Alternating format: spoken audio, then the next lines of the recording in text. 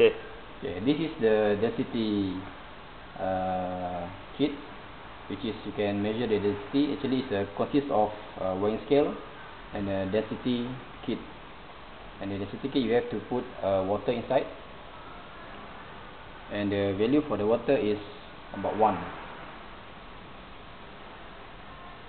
Okay, you must wait until it's stable.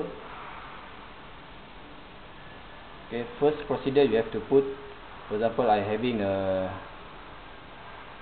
you put uh, on the top. Okay once stable press the kill button.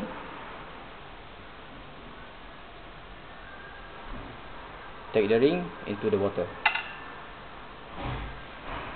As you can see I'm getting the value about 10 so by referring with the graph the 10 is about this figure for the silver.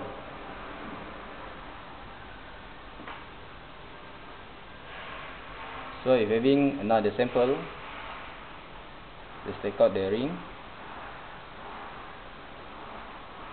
Okay. Press the tab make the value to uh, 1 put on the top. Wait until stable. Press scale take the ring, put into the water.